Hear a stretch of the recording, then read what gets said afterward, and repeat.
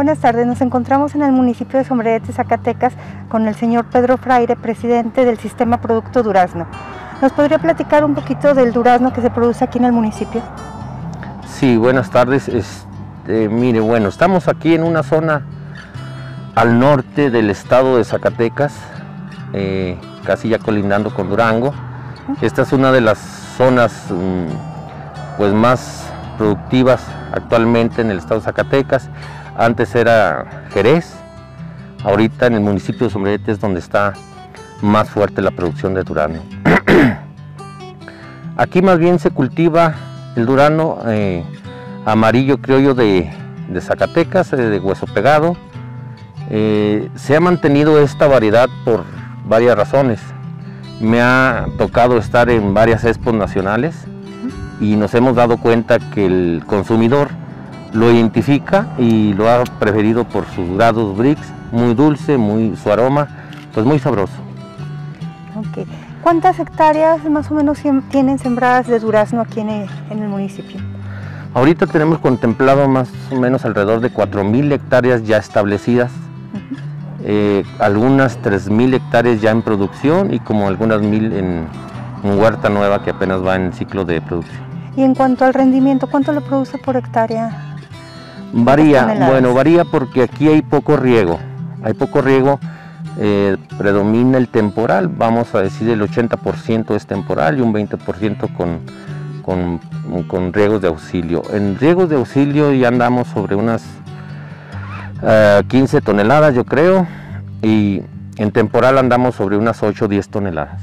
¿El durazno que se produce aquí en dónde lo distribuyen o dónde lo, lo mandan? Lo estamos distribuyendo a varios puntos de la República, Mm, principalmente en, centrales de abastos, que es Monterrey, México y Guadalajara. Son los lugares donde se, está vendiendo el durazno en fresco. También se está mandando aquí al estado vecino Aguascalientes, a una industria donde se está procesando y se está exportando y se está vendiendo también en tiendas nacionales.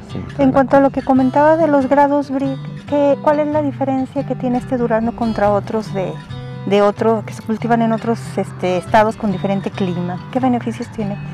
Sí, yo creo que eh, nos favorece por la zona donde estamos produciendo, porque estamos un poco referenciados en, la, línea donde pasa el trópico de cáncer. Eh, los grados de BRICS de diferencia a comparación con los de Chihuahua, de, de Puebla, de Michoacán, este, pues anda muy por encima de, grados Brix, o sea, dulzura y aroma, y aroma. superior. Mucha calidad. En cuanto al manejo de las plantas, ¿qué requerimientos tienen o, cómo es, cómo las manejan para que produzcan más? Sí, ahorita pues ya se está manejando el mejoramiento genético. Eh, los viveristas pues ya todos tienen la visión de estar mejorando la genética, ya se están mm, sacando selecciones que parece muy prometedoras y de más amplio el ciclo de producción. Eh, conservando, tratar de llevar siempre este, la calidad en grados bricks que nos está resultando ahorita con este durano que se está vendiendo. Entonces, desde ahí se, inicia el, manejo de, la planta y ya una vez establecida, pues son los, los trabajos de control de enfermedades, de insectos, y, de poda, más que nada, para poder llegar a un buen resultado, una buena producción. ¿Requiere una poda muy específica para la buena producción? Sí varía un poquito, este, sí es, sí es este, elaborable, sí se tiene que un poco este, capacitar a los podadores, que identifiquen lo que es una yema de producción, este, desde ahí se va clasificando, depende la, la calidad y el rendimiento que quiera producir por árbol más o menos. Desde ahí se, es la poda lo que va la poda lo que le va manejando y manteniendo en esta calidad. Sí, sí, eh, depende este, eh, los años que tiene ya de producción la planta, eh, la calidad que quiere sacar, si la quiere para, para mercado en fresco la quiere para industria. Desde ahí ya se, se va clasificando desde la poda. Mire, este durazno El, proceso aquí de corte de durazno más o menos es cuando adquiere un tono ya eh, amarillito, que ya se ve que está cerrando completo amarillo. Este durazno ya está maduro. Eh, este, este color todavía que está verde todavía no se corta. Entonces los, las gentes que andan cortando la fruta se basan en este color ya rosadito. Todo este, todo este ya, ya está para corte. Es su, estado adecuado para, para que aguante la vida de anaquel. De aquí se lleva a la seleccionadora donde pasa por un proceso de, de limpieza de impureza, cepillado y seleccionado por, por su tamaño. La gente como lo corta aquí, típico es, cortan en un bote, lo van vaciando con cuidado y se va poniendo en el tractor, se va vaciando en cajas de plástico de 20 kilos y de aquí se manda directamente ya al centro de acopio donde se, se procesa. Este es el más o menos el, el tipo de, corte que se hace aquí y el manejo del corte del durazno, de la poda. Y una última pregunta, desde que siembra la planta, el árbol, ¿cuánto tarda en producir, en que ya les esté produciendo? Mira, ahorita con unas elecciones ya que se están este, identificando, casi a vuelta de año ya empieza floración. Muy poquita cantidad, pero sí empieza ya con sus 4 o 5 kilos por, por planta. Entonces estamos viendo de que casi a un año ya empieza a producir la planta. Pero su etapa de producción más, este, más ya productiva inicia de los tres en adelante, de los, tres, años en adelante.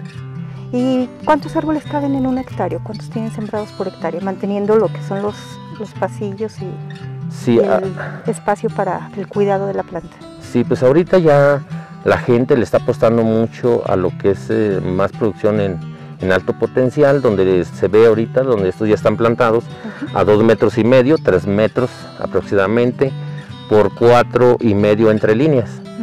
Eh, antes se plantaban por cuatro y medio por cuatro y medio, entonces ahorita ya se está aumentando al doble de plántula por hectárea, alrededor de 450 a 500 plantas por, hectárea. Sí, mire, aquí es donde se,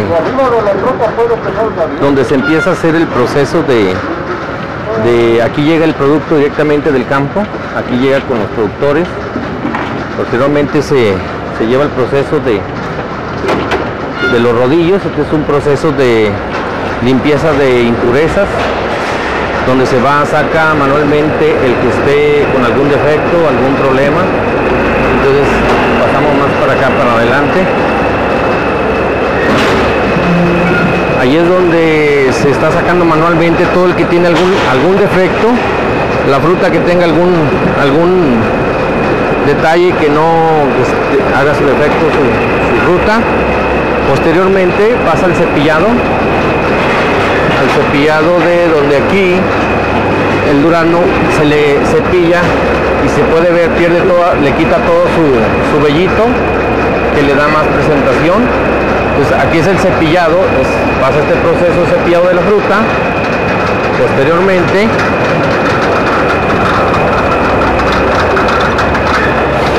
aquí llega donde ya empieza por calibres de 34, de 25 a 34 milímetros, donde la selección empieza a separar por tamaños. Como vemos, este es un tamaño más pequeño donde este se está mandando a industria, donde ya lo están procesando, lo están en embutidos. Posteriormente pasa a otra, a otra calidad, donde ya es otra calidad más grande, que también se está pasando ahorita este producto a, a una industria que también lo está procesando. Sí, posteriormente ya entra en otras calidades lo que es lo que es primera donde ya es otro, otro tamaño más, más grande y que este producto ya se está mandando a mercado fresco, a centrales de abasto, donde ya es otra calidad más grande. Y finalmente llega otro tamaño donde está más grande, donde ya hay más, más calidad de, durazno, de más tamaño, es la misma calidad pero de más tamaño donde pues este ya se manda también a, mercado en fresco también, a centrales de abastos de Monterrey, Guadalajara, México, donde se está vendiendo a buen precio ahorita. Este es el mecanismo de la selección de la, de la máquina que está, operando ahorita. Si, quiere pasamos allá para que vea los, los, eh, las calidades.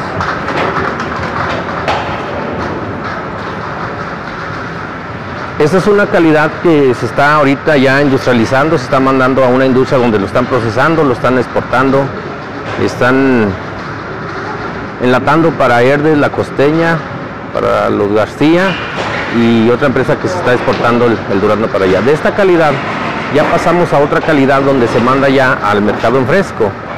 Esta ya, ya va directamente a Central de Abastos de Guadalajara.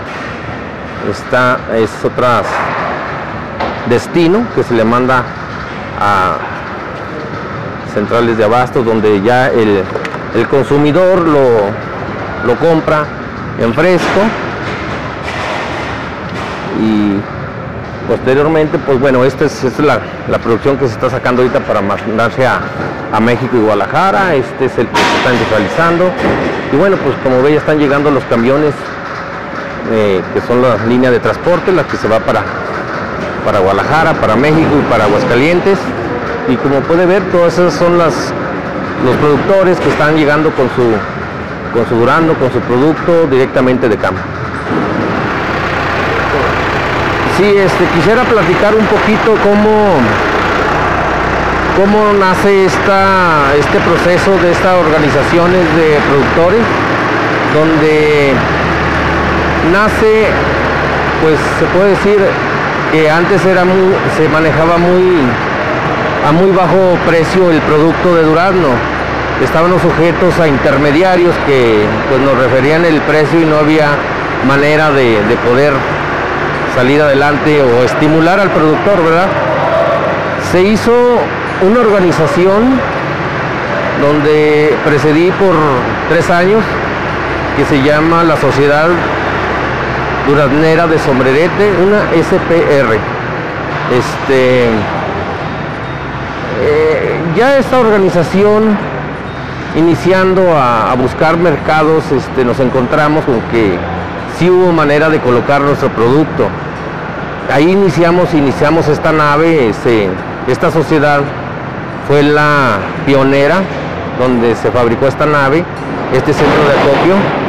Posteriormente este, estamos al frente de otra sociedad llamada Los Petrinos, donde esta sociedad se enfocó más que nada en la comercialización, tratando de estimular a los productores de toda la región, donde se estamos pensando en cómo inducir a, a los productores, motivándolos de que por calidades y organizándonos y produciendo por calidades y trabajando en equipo, pues nos ha ido mejor, nos está yendo mejor.